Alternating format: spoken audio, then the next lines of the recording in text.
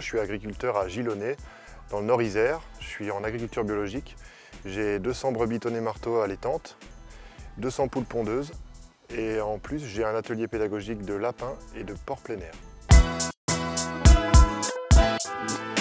Je suis installé depuis le 1er janvier 2020 donc en agriculture biologique. Euh, la particularité de l'exploitation est d'accueillir une, association qui s'appelle le Bercail Paysan et qui a pour but de faire un, accueil d'adultes en situation de handicap mental.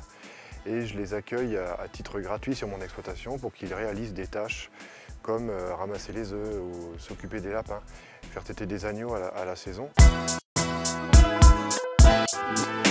Je suis inscrit au, concours des graines d'agriculture parce que je trouve qu'il est important de communiquer sur nos projets. C'est en ayant de la visibilité euh, et en mettant de la lumière sur nos projets qu'on arrive à avancer.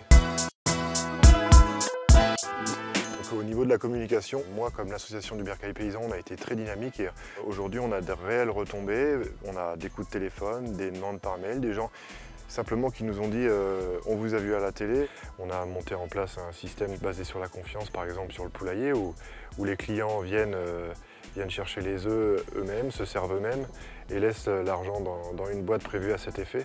Du coup, c'est important pour moi de, que la ferme soit un, lieu de, partage, un lieu d'échange et un lieu où les gens se sentent bien.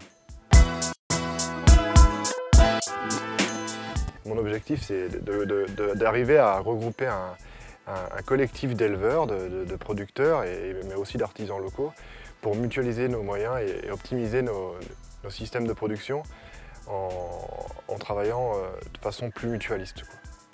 Mon projet vous a plu? Alors tout l'été, votez pour moi